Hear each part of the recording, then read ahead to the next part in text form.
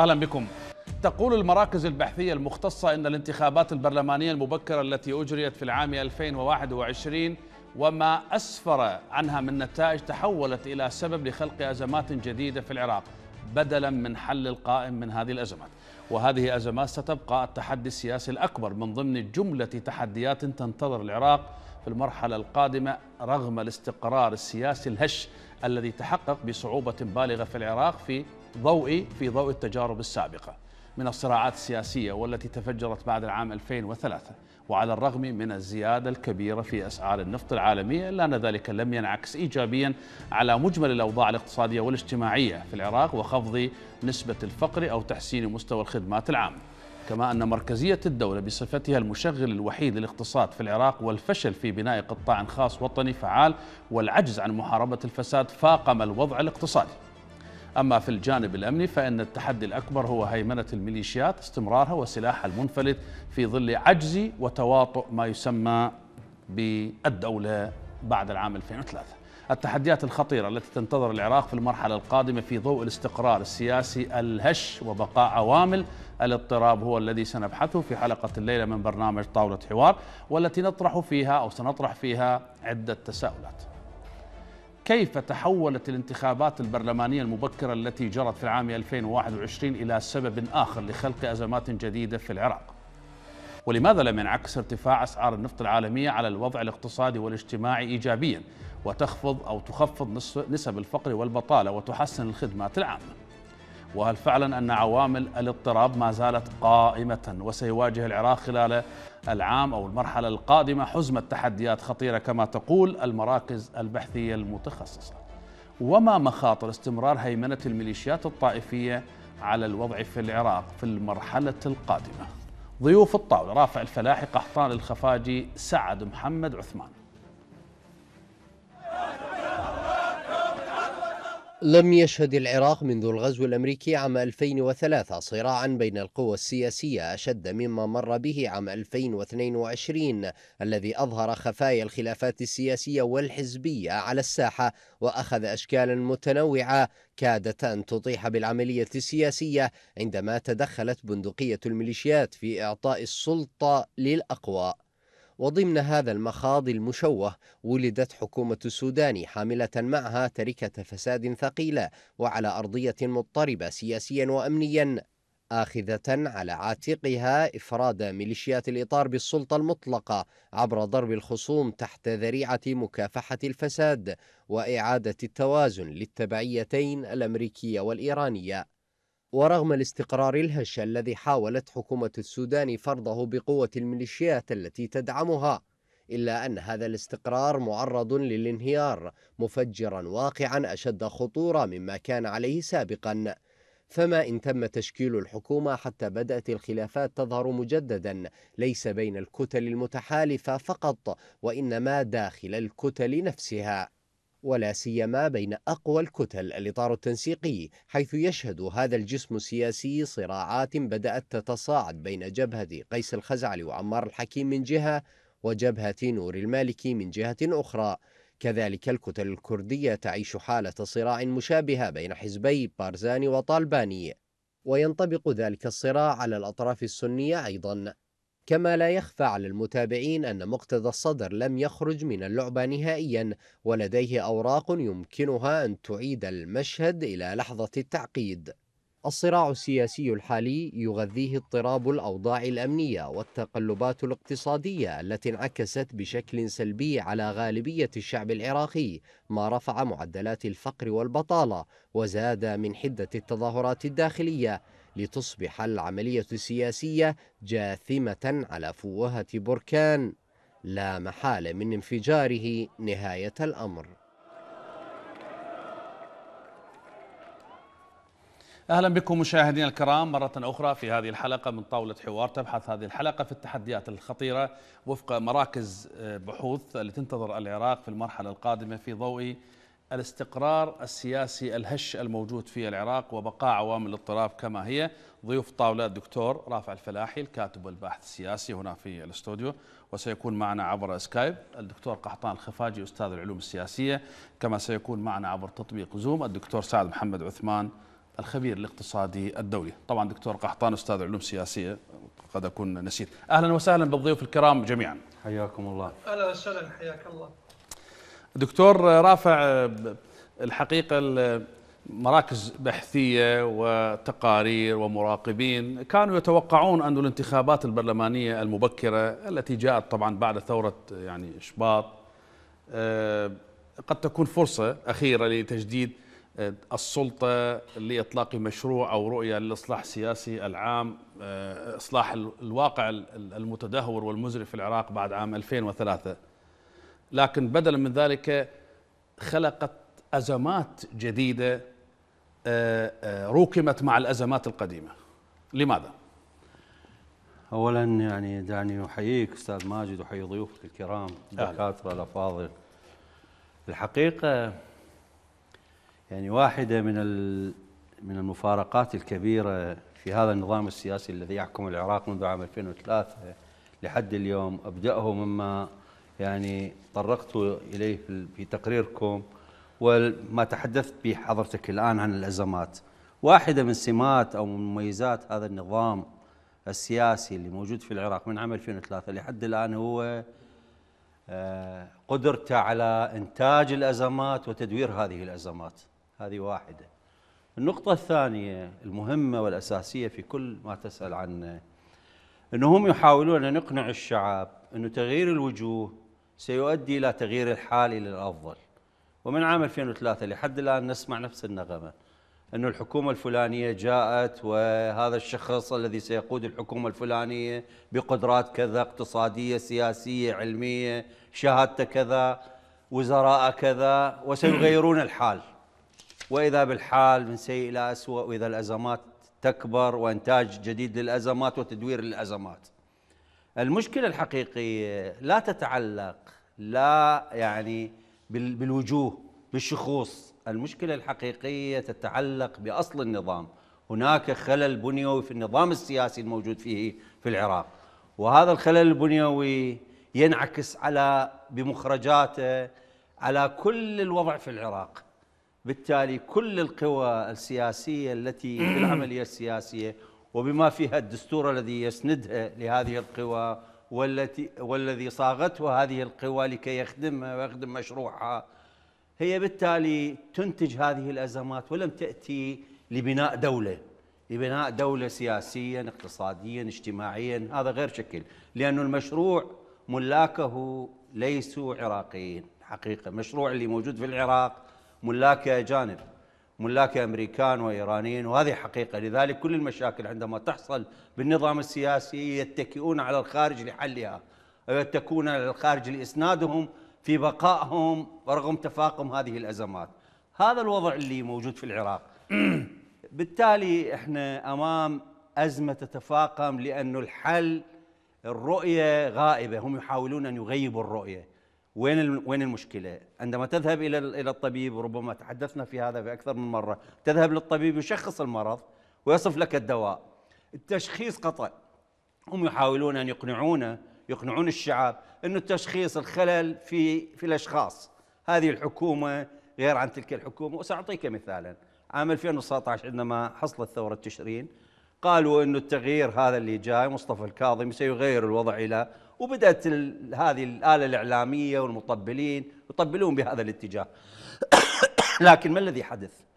الوضع ساء أكثر، الميليشيات سيطرت أكثر، انفلات أكثر، السلاح انفلت أكثر، الوضع الاقتصادي انفلت أكثر، خلق, خلق هذه الفوضى التي اعتمدوا عليها من عام 2003 لحد الآن ماضي في طريقه. فبالتالي كل الأمور تمضي باتجاه خلق أزمات جديدة وعلى الشعب أن يتحمل هذه الأزمات و آه، يعني يؤمن بأنها بأنها حالة طبيعية وستستمر حياته بوجود هذه بوجود هذه الأزمات لأنه الفكرة الأساسية الغائبة التي يريدون أن يغيبونها ليست غائبة عن الشعب أنه القضية تتعلق بالحزب الفلاني إذا ما قاد والشخوص الفلانيين والحكومة الفلانية نعم. وهذه ليست هي الحقيقة نعم. الحقيقة مثل ما قلت أنه هي في أصل النظام السياسي في أصل النظام الاقتصادي في أصل النظام الاجتماعي اللي هم مواضعي في أصل بناء الدولة في أصل المشروع الذي لا يملكه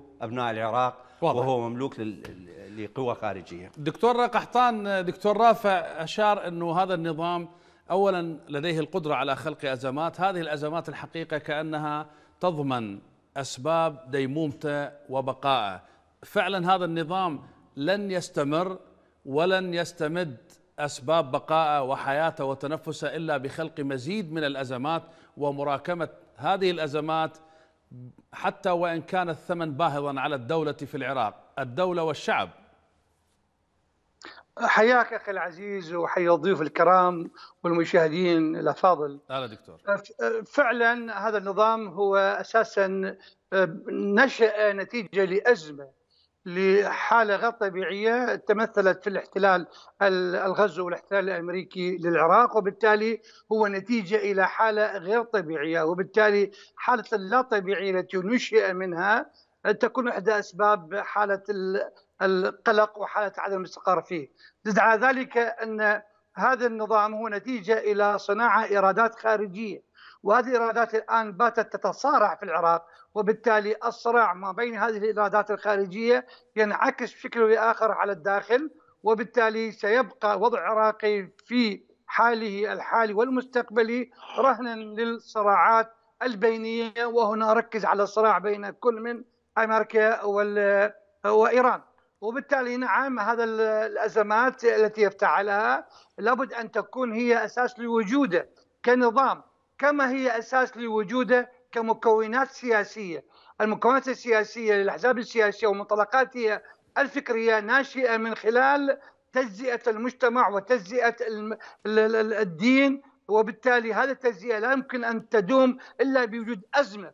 وعليه نرى نحن نتابع أن الأزمات تستمر سواء الأمنية أو الاقتصادية مؤخرا أو أي أزمة أخرى.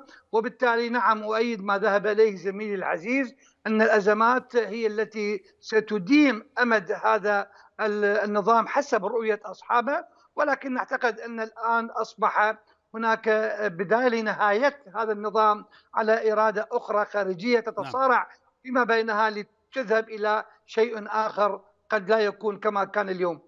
نعم، دكتور سعد محمد عثمان من جملة التحديات التي يعني تستشرفها تتوقعها المراكز مراكز البحوث المتخصصة والمراقبين يتحدثون عن أيضا الأزمة الاقتصادية، لكن الحقيقة البعض يتحدث أن العراق في العام 2022 حقق نموا اقتصاديا آه، عبر زياده أسعار النفط آه، العالمية آه، واعتبر أنه هذا نمو اقتصادي.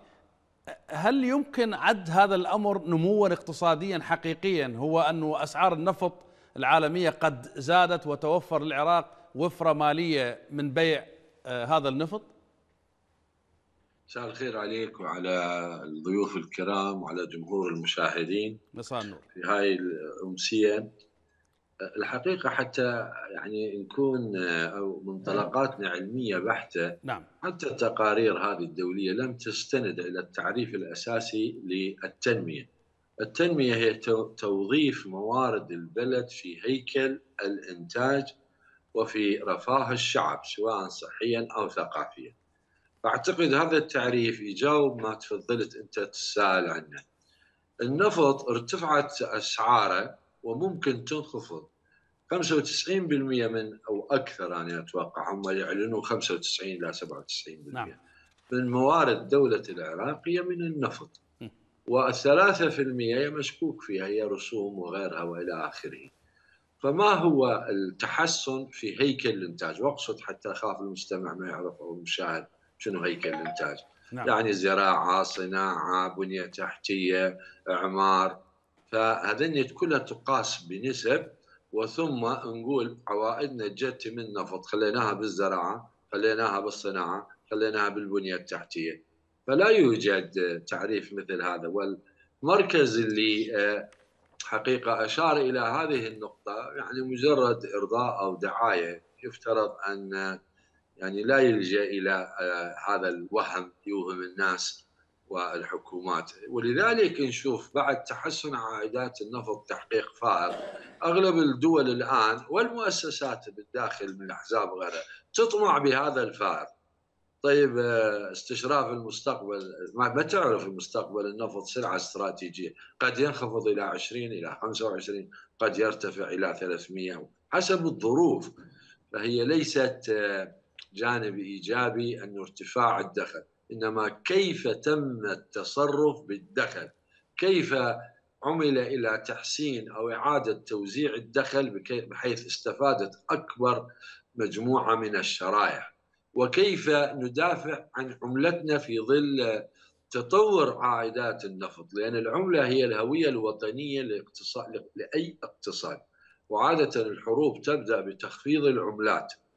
عندما تفقد العملات قيمتها تبدأ آه، طبعا المشاكل الاجتماعية وهي الخطوة الأولى لأحداث أكبر كما يحدث في لبنان في اليمن في إيران في سوريا. والآن لحقهم العراق. وهو تهديد حقيقي لأنه ان يرتفع السعر خلال سنة يعني تقريبا 40% 50% ارتفع آه، قيمة الدولار ازا آه، ما هو الدينار. دكتور عفو أين يكمن هذا التهديد الحقيقي من انخفاض قيمة الدينار العراقي أمام الدولار وهو طبعا انخفاض يبدو متدرج وربما هناك من من يتوقع من الاقتصاديين أن يبلغ 200 آه، ألف لكل 100 دولار 200 ألف أنا شخصيا أيضا أميل أنه إذا لأنه إحنا عندنا في النظرية الاقتصادية الظاهرة الاقتصادية عندما تستمر يعني مع الأسف أنه اضطر أتكلم شوي نظرية عندما تستمر إلى مدى ست شهور من ثلاثة إلى ست شهور تصبح ظاهرة صعبة المعالجة. ولذلك هذا التواصل يعني أنا راقب من أيام كل العملات بالمنطقة. الدينار العراقي يسجل آه، تراجعات سريعة فنعم إحنا الآن آه، قد يتفاوت 5% 2% بعدين أكو مرحلة آه، يبدي يقفز. يعني يبدي يقفز بالانخفاض إلى إلى الداون إلى التحت بنسب 10 15% ولذلك 2000 مو مو فد رقم يعني متوقع أن يوصل إلى 2000 ولكن هو بالإمكان إيقاف هذا النزيف. لو هناك سياسة اقتصادية ومالية صحيحة وأنا أستغرب إنه ما يجري في البنك المركزي من إجراءات هامشية آه هذه معناها إنه إهمال ل آه مثل ما يقول إلى قوت الشعب وإلى قوت الناس اللي هي أعتقد 8 ملايين إنسان عايش على الرواتب أو 8 ملايين و250 بين متقاعد وبين موظف بين إلى آخره نعم. قدرتهم الشرائية إذا كانت نتيجة تخفيض قيمة الدينار أزاء الدولار في الورقة البيضاء الورقة الملعونة اللي هي مع الأسف آه، يعني قصمت ظهر البعير وأدت إلى انخفاض القدرة الشرائية وكان ليس لها أي مبرر ابدا لأن كان ممكن لأن عادة في حالة آه، انخفاض قيمة العملة يعني أنا أتكلم كأستاذ اقتصاد آه، اللجوء إلى الاحتياطي اللي هو قد يصل بين 10 إلى 20% كذلك إلى موضوع إنه حتى نعالج أزمات نفكر بمستقبل الأجيال القادمة ونبني صندوق للأجيال وباستثمارات مهمة كما يحدث في دول الخليج قد نعم. نتحدث في هذه النقطة أكثر دكتور رافع الحقيقة أيضا في جملة التحديات ونتحدث عن الشق السياسي آه، ما ينظر إلى الآن على أنه استقرار المختصين المراكز البحثية تقول أنه استقرار نسبي هش ولعوامل خارجية غير متعلقة بالداخل في العراق. لماذا هذا الاستقرار نسبي وهش؟ والحقيقة لا يمكن أن يبنى عليه شيء في المستقبل؟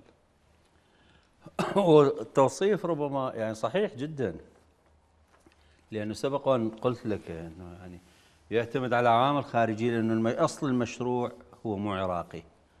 يعني هؤلاء هم نواطير هم أجراء لحماية هذا المشروع الحقيقة. لذلك أنا قلت في كل كل المشاكل كل الأزمات الكبيرة التي لا يستطيعون حلها والتي تؤثر اللي قد تؤدي إلى انهيار العملية السياسية يذهبون إلى الطرف الخارجي لكي يحل هذا الموضوع.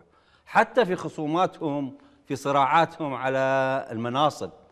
يعني عندما نصل إلى تعيين رئيس الوزراء في كل مرة نحتكم إلى الخارج.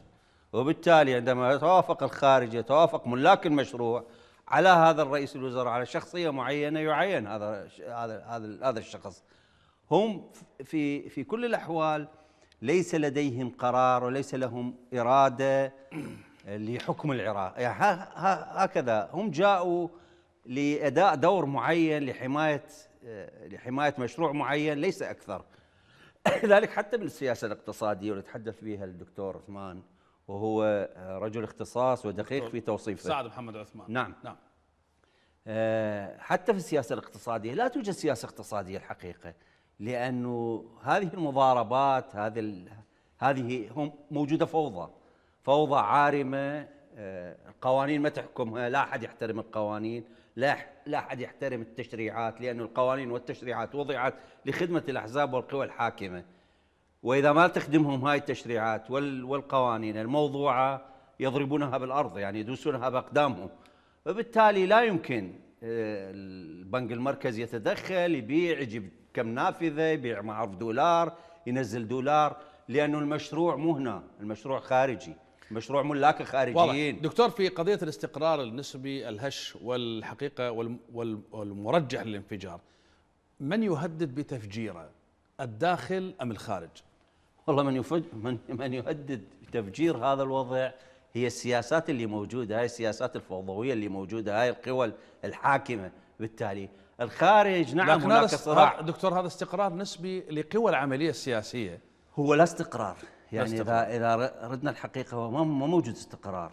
كل اللي موجود الآن على رمال متحركة كل اللي موجود الآن آه، لا يمكن لا يمكن الحكم عليه على أنه مستقر وثابت.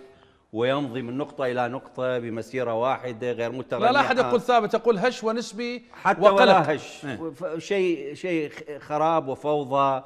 لكن محكوم الناس بالسلاح بال بال بالتهديد بال بالوعيد بالحديث عن إنه إذا ما آه، وقفتم ضد هذا سنذهب إلى المربع الأول إلى الفوضى وكأن يعني غادرنا المربع الأول وإحنا لم نغادره.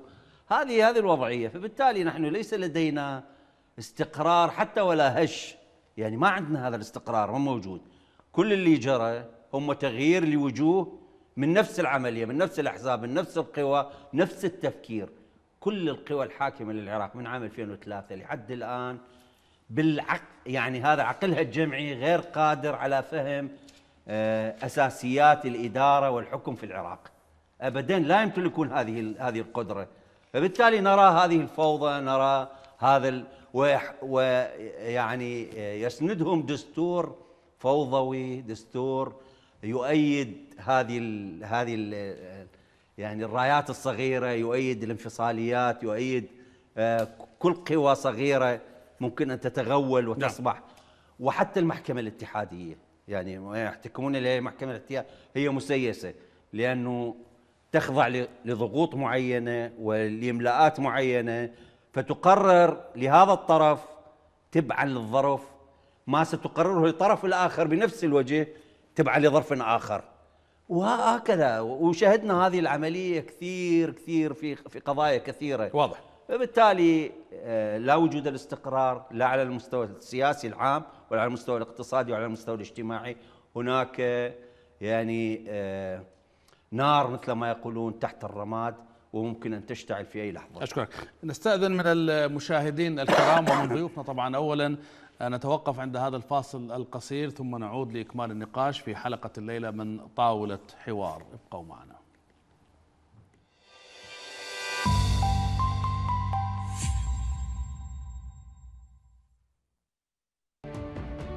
بلا جدران تقيهم حر الصيف وبرد الشتاء. أخرجوا من ديارهم غائبون لا صوت لهم.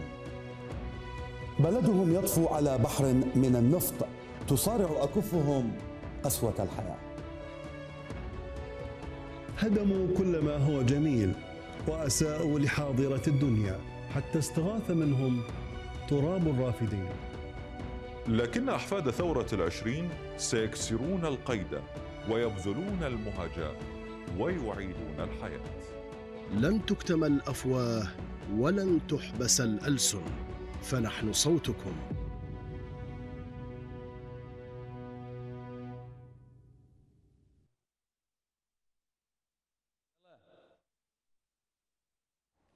أهلا بكم مشاهدينا الكرام مرة أخرى في هذه الحلقة من طاولة حوار والتي تبحث في حزمة التحديات الخطيرة السياسية والاقتصادية والاجتماعية والأمنية التي تنتظر العراق في ضوء هذا الاستقرار النسبي الهش والقلق في العراق. ضيف طاولة الدكتور رافع الفلاحي دكتور قحطان الخفاجي والدكتور سعد محمد عثمان.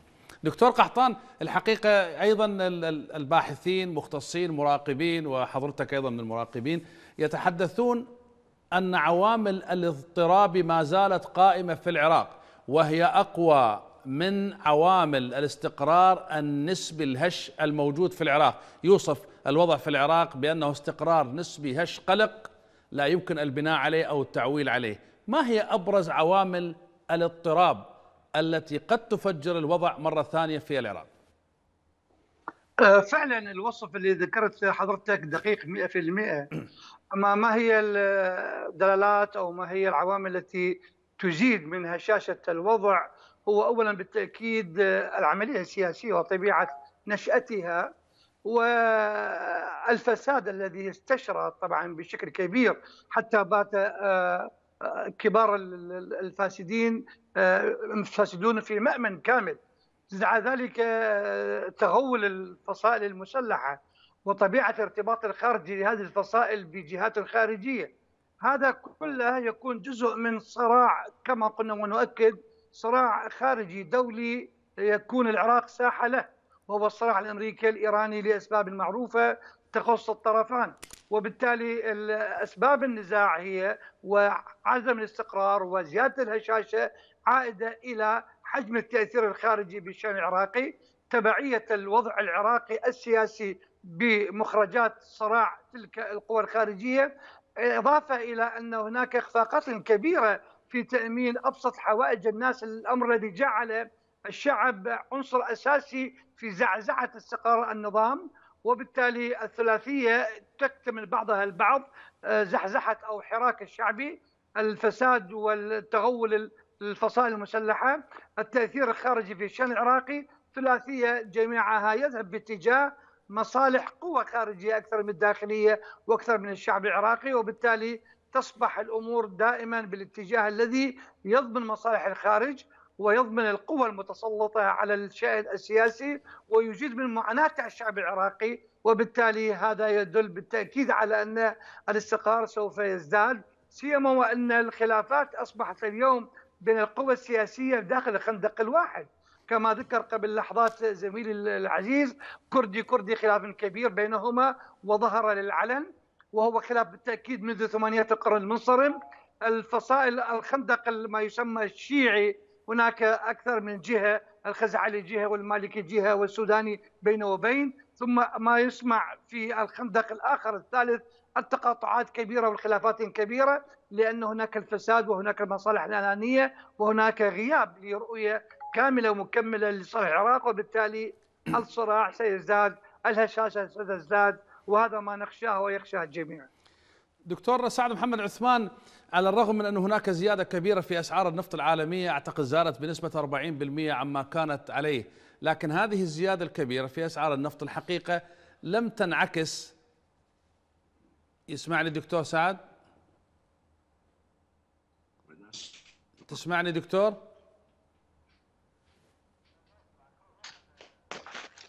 ماذا يسمعني دكتور سعد؟ ماذا أسمع. طيب الآن لحظة. ممكن تعيد؟ اي الآن؟ اي تفضل. ماشي. اي أسمعك آه، كنت أسمعك. كنت سألتك أكو زيادة كبيرة في أسعار النفط العالمية، الزيادة أعتقد بلغت 40% عما كانت عليه، لكن هذه الزيادة وهذه الوفرة المالية الهائلة لم تنعكس ايجابا على مجمل الأوضاع الاقتصادية والاجتماعية في العراق، يعني على الأقل آه، تخفف من وطأة هذه المشاكل والأمراض الاقتصادية، لم تخفف نسبة فقر، آه، لم تخفف نسبة البطالة، لم تحسن شيء من الخدمات العامة، لماذا هذا العجز؟ يعني البرميل يصير بألف دولار ممكن حتى حتى الناس بالعراق تلمس شيء من من من من أثر هذا الارتفاع؟ صحيح اللي تتفضل به. يعني هو مثل واحد جيبه مليان فلوس وما يصرف. فهي عملية توظيف لعوائد النفط. يعني لم تنعكس عوائد النفط على مشاريع لامتصاص البطالة تحسين الدخل البنية التحتية إلى آخره، إنما المكسب اللي خلى الجزيرة وغير الجزيرة تتحدث إنه العراق يحقق نمو هو نمو الاحتياطي في البنك المركزي اللي يقال وصل إلى 110 تقصد مركز مليار. الجزيرة للدراسات وليس القناة نعم. مركز الجزيرة إي لا لا مركز الجزيرة نعم. لل... آه، متأسف أنا نعم وانه الاحتياطي ال- ال- اللي هو طبعا قانونا يجب أن يكون له 10 إلى 20% فأنت خذ 10 إلى 20% واحتياط إيش قد داخل العراق نتيجة زيادة أسعار النفط؟ يعني أعتقد مبلغ كبير وخاصة العراق الآن تجاوز 4 مليون. أخي بلدان يعني تنتج أقل من مليون.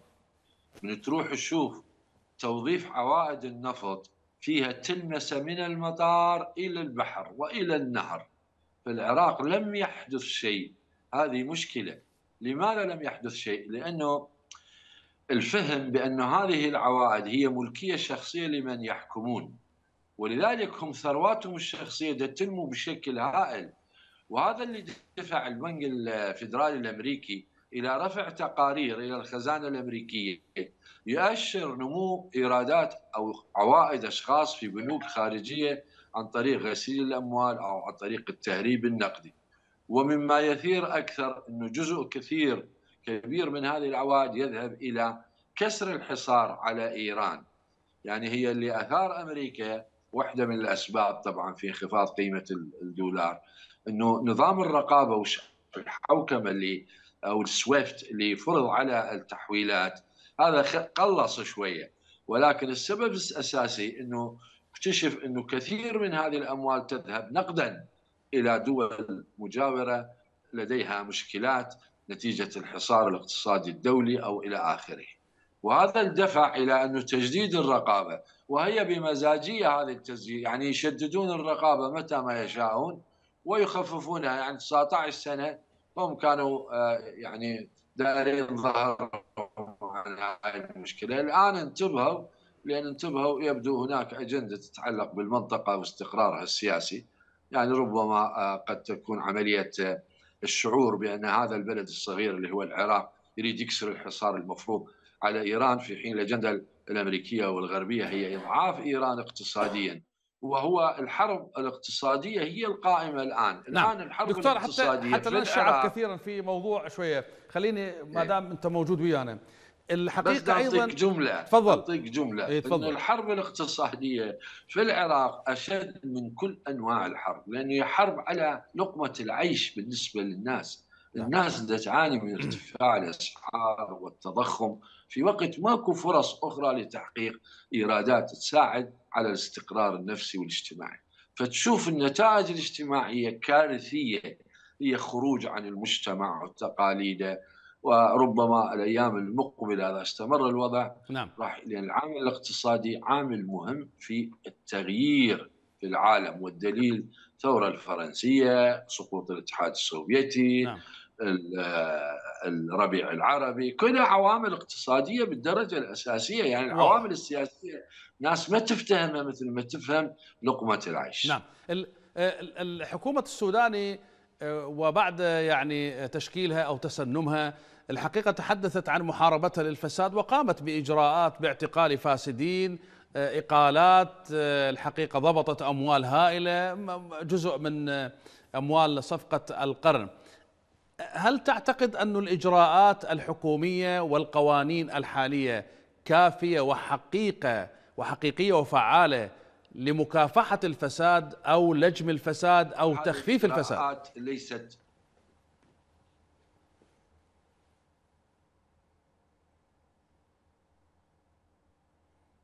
أعيد عليك السؤال دكتور.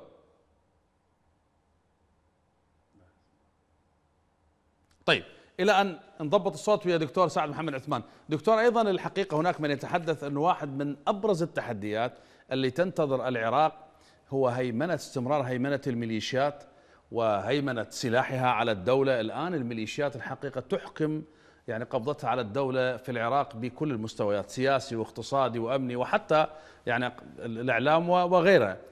هذا هو التحدي الأكبر الذي سينتظر العراق. الآن الميليشيات قبل كانت الميليشيات هيكل عسكري يتبع لحكومة يعني بطريقة أو بأخرى ليست يعني ليست ميليشياوية. الآن حتى الحكومة هي من الميليشيات من إطار الميليشيات. لذلك أنا قلت إنه الاستاذ ماجد قلت إنه العقل الجمعي للطبقة الحاكمة عقل بخلل خلل كبير وغير قادر على فهم طبيعة الإدارة وطبيعة الحكم. سأقول لك لماذا. نعم. وربما تحدث بال بال بالإطار الاقتصادي اللي تحدث به الدكتور عثمان قبل قليل. نعم. ال... نحن لدينا دولة تتحدث هكذا الحكومة. لا أقول الدولة لأن ما موجودة دولة. نعم. هذه الحكومة اللي موجودة السلطة الموجودة تقول لدينا أربع ملايين ونصف موظف ولدينا ثلاث ملايين ونصف متقاعد. إذا العدد 8 ملايين. ذولا تصرف لهم رواتب. إضافة إلى ما لا يقل عن 3 ملايين فضائي. فأنت لديك ما يقارب العشر ملايين مواطن يجب أن تصرف عليهم. هذه اللعبة هذه اللعبة يعني تمتعوا بها. طوال هذه السنوات. وهي اللعبة التي استطاعوا من خلالها أن يقضوا على ثورة تشرين. واحدة من الأسباب الرئيسية التي قضوا بها على ثورة تشرين أو حاربوا ثورة تشرين لا أقول قضوا عليها بهذه الطريقة. لأن القوى التي وظفوها وليدفعوا لها رواتب منعوها من المشاركة مع الثوار. وكان الثوار يدعونهم وهم لهم رغبة كبيرة في الوقوف مع الثوار لكن هددوهم برزقهم بأموالهم برواتبهم توقفوا لذلك انسحبوا. وبقوا الثوار وحدهم بالساحة واستطاعت الميليشيات أن تقتلهم. هذا الفكر الميليشياوي الذي يسيطر على الدولة. الآن وصلنا إلى مرحلة. الآن الموازنة قد؟ هم يقولون أنه كل واردات العراق النفطية واللي هي تشكل ترى 100% يعني العراق إيش عنده غير واردات؟ الباقيات كلها تبوقها الميليشيات وهاي المنافذ الحدودية وما أعرف شنو. شو نصدر إحنا؟ إحنا فقط نستورد وما نستورده ناخذ عليه ضرائب ربما تأخذها هذه الميليشيات. عموما 100% تجينا الموارد من النفط. موارد النفط في هذه السنة 115 مليار. أنت تدفع فقط للموظفين بهذا السعر العالي وأنت تصدر 4 ملايين ونصف برميل يوميا أنت تدفع لهم ما يزيد عن ما يقرب من 80 مليار دولار سنويا. كم بقي من المبلغ؟ اللي بقى من المبلغ لا يساوي 30 أو 40 مليار. هل هذه كافية للنهوض بالعراق وبناء قاعدة وبناء آه، آه، إطلاق تنمية. إطلاق تنمية وإصلاح كل شيء والبنى التحتية وبناء بنى تحتية وبناء حياة جديدة ونهوض بالعراق وبناء صناعة وزراعة كذبة كبيرة. لأنه هذه المبالغ الباقية تتقاسمها هذه هذه الأحزاب والميليشيات التي في السلطة. لذلك عندما تقرأ بالموازنة ستجد أن تقسيمات الموازنات توزيعات مال الأموال غالبيتها تذهب يعني التعليم تجد 2% و1% للصحة 1% و2% للخدمات ما أعرف إيش لكن تجد للعسكر للما أعرف منو القوات مبالغ هائلة لأنه هذه القوى تحمي السلطة المراد لها أن تحمي السلطة لذلك يصرفون والباقي كل الفساد يذهب إلى إلى جيوبهم. لذلك أعداد الفقراء في العراق خارطة الفقر توسعت وأعداد الفقراء الآن باعترافهم هم تزيد يعني يقولون يقولون 36% هم يتحدثون عن 36% أشكر. من الشعب العراقي. فأنت شوف هذا قد العدد من الفقراء والعاطلين عن العمل. هذه كلها كوارث جديدة تضاف إلى هذا الوضع. ذك نعم. ذكرت الفساد.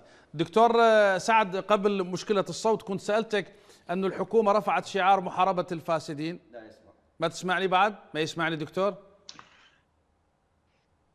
دكتور سعد يسمعنا؟ ماذا يسمع؟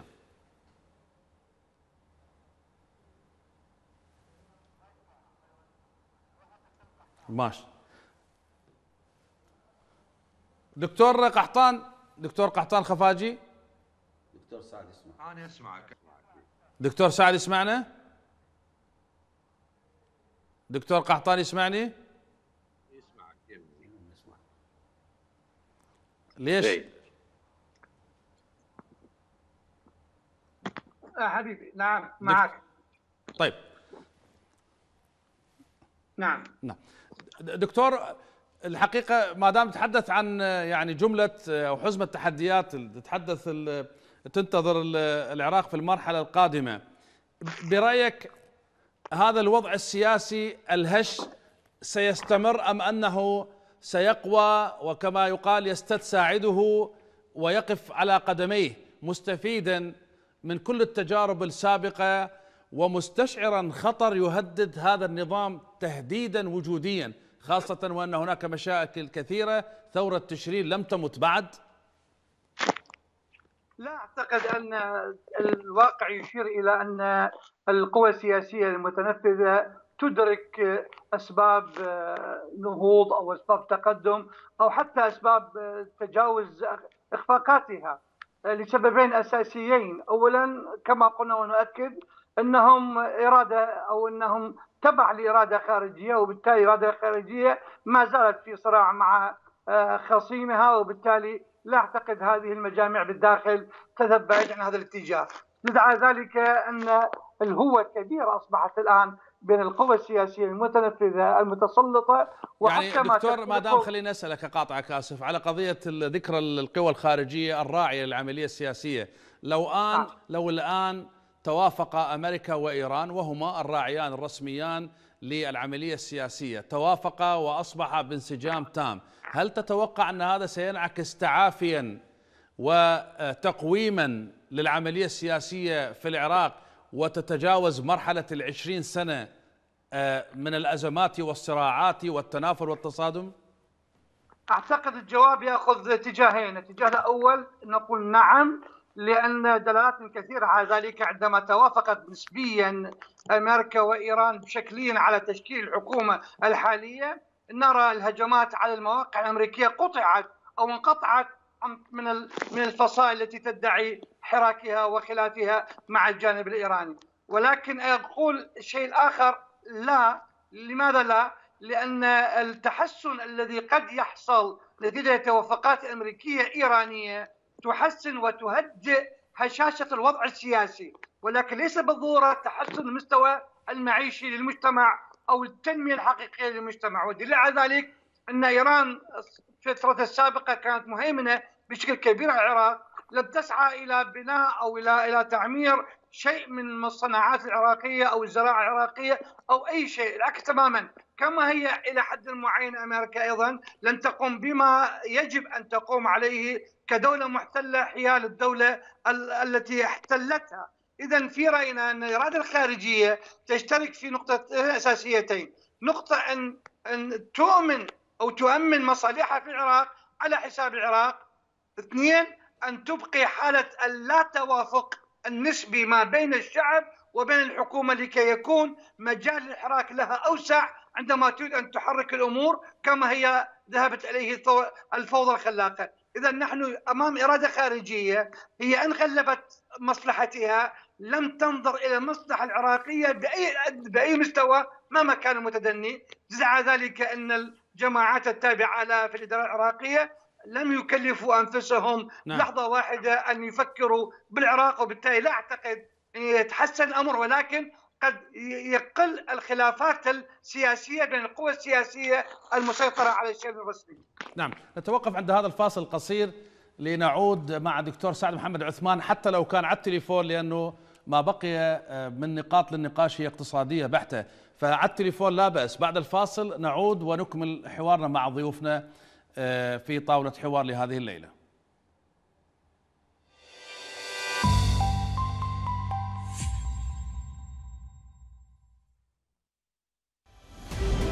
من الأرض المباركة التي تعج بالأحداث والقضايا. من شعبها المتوشح بالعزيمة والإصرار. من شهدائها وأسراها وجرحاها. من قدسها وأقصاها الراسخين في وجدان الأمة. نأتيكم في برنامج من فلسطين عينكم على الأرض المحتلة.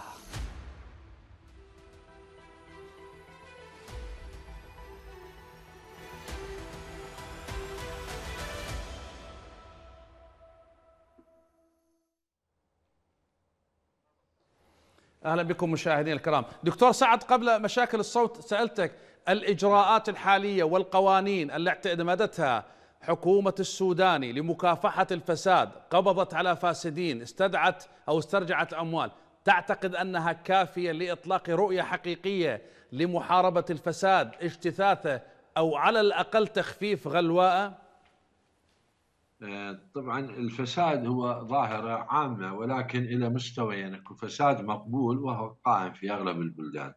وكو فساد شامل. الظاهرة اللي موجودة بالعراق هي الفساد الشامل يعني بحيث آه، يبدأ من القاعدة إلى القمة ومن القمة إلى القاعدة. حتى تواجه هذا النمط آه، من الفساد وفق تجارب كثير من الدول هو لازم سياسة جذرية وليس إجراءات جزئية وقتية أنه تمسك خيوط تابعة. أنت تجي على الرؤوس. فلازم تعرف أن مصدر الفساد في العراق هم وين؟ يبدو أن مصدر الفساد في العراق هي القوى المتنفذة الكبيرة. وبالدليل أن هذه القوى الكبيرة امتلكت استثمارات سواء داخل العراق أو خارج العراق وأغلبها خارج العراق كبيرة بحيث أنها مرصودة بشكل جدا واضح عندما آه، تسافر إلى أي بلد من هذه البلدان.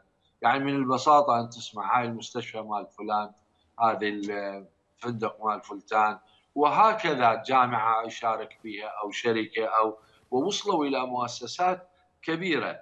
أنه هذه الأموال كيف وصلت؟ وصلت بعدة طرق. من خلال مزاد العملة هذا اللي تحقق من خلال المشاريع الوهمية. الحقيقة نمط الفساد في العراق رهيب. يعني هذا نمط الفساد المشاريع الوهمية نادر. آه، يعني لم أقرأ عنه آه، سابقا إلا في العراق. ولذلك أنه تصير إجراءات تجاه أشخاص نعم هي إيجابية خلي تصير. ولكن يجب أن تكون سياسة مدعومة بتشريعات وقوانين أسوة ببقية البلدان وتكون العقوبات صارمة. ولكن لا أعتقد أن هناك نية أو هناك فعلا واضح. بس عندنا أيضا نقطة أخيرة حتى قبل أن ننهي لأنه في الدقائق الأخيرة الحقيقة الاقتصاديون يتحدثون أنه مركزيه الدولة في تشغيل باعتبارها مشغل وحيد للاقتصاد في العراق وعجزها وفشلها في بناء اقتصاد خاص وطني خاص أيضا فاقم الحالة الاقتصادية في العراق. وبالتالي فإن الاقتصاد أو الوضع في العراق أو الحالة الاقتصادية يعني الآن على الأقل في المدى المنظور من المستحيل أن يكون هناك تعافي أو تكون هناك عملية إصلاح اقتصادية. والإقتصاد في العراق ماض لمزيد من التشوه والتهشم. أي نعم الاقتصاد العراقي اقتصاد بدون هوية وبدون أي فلسفة هو عبارة عن مجموعة من الناس تتحكم بالموارد بدون أي خطة رغم الخطط تكتب في وزارة التخطيط ولكن لا تنفذ وبدون نتائج يعني لم تحسم لها أي نتائج إيجابية. ولذلك مهما كثرت العوائد الناجمة عن النفط طالما ليس هناك تطور في هيكل الإنتاج يضمن عمل يضمن تطور في القاعدة المادية اللي هي الصناعة الزراعة في التعليم في الصحة فبصراحة آه، أنا متشائم من نعم. آه، الاقتصاد العراقي إذا استمر بهذا الحال وخاصة أنه هو مربوط بعوائد النفط وأي قرار سياسي أو حدث سياسي ممكن يخفض سعر النفط وممكن آه، أشكرك دكتور.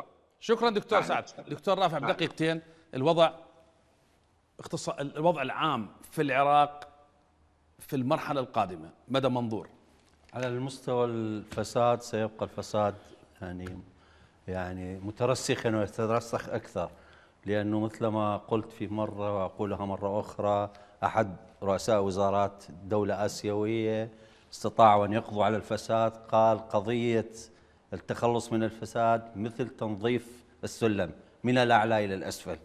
وإذا ما بدأوا من الأسفل إلى الأعلى لن يتنظف هذا السلم أبدا. وهذه العمليات اللي سألت عليها الدكتور غير مجدية ومضحكة. الشيء الآخر أن هناك عاملين للتغيير في العراق.